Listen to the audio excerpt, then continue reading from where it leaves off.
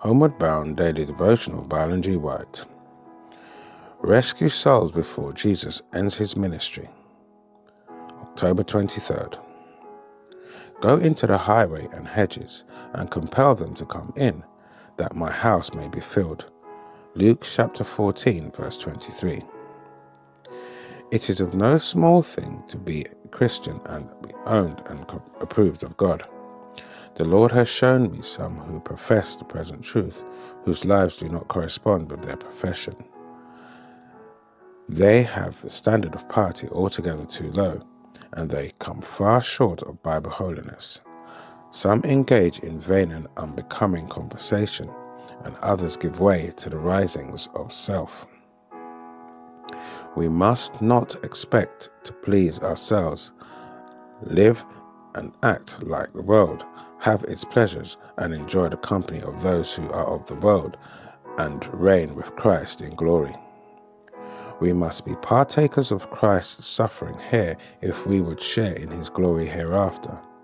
If we seek our own interests, how we can best please ourselves instead of seeking to please God and advance his precious suffering cause, we shall dishonor God and the holy cause which we profess to love.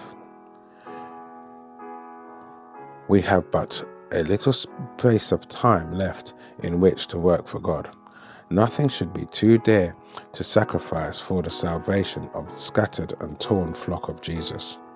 Those who make a covenant with God by sacrifice now will soon be gathered home to share a rich reward and possess new kingdom forever and ever. Oh, let us live wholly for the Lord and show by well ordered life the, the God and godly conversation that we have been with Jesus and are his meek and lowly followers. We must work while the day lasts, for when the dark night of trouble and anguish comes, it will be too late to work for God.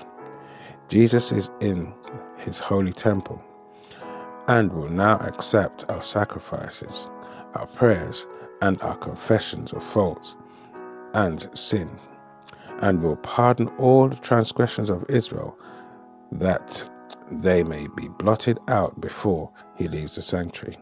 When Jesus leaves the sanctuary, then they who are holy and righteous will be holy and righteous still, for their sins will then be blotted out and they will be sealed with the seal of the living God.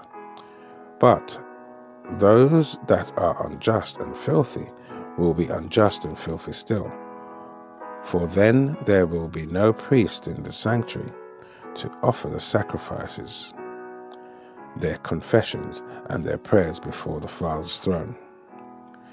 Therefore, what is done to rescue souls from the coming storm, wrath, must be done before Jesus leaves the most holy place of the heavenly sanctuary.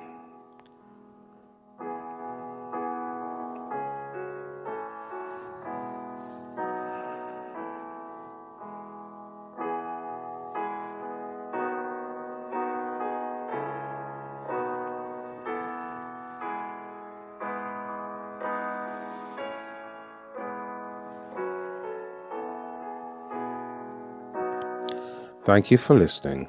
This is your daily devotional. We hope you can join us again tomorrow. Homeward Bound.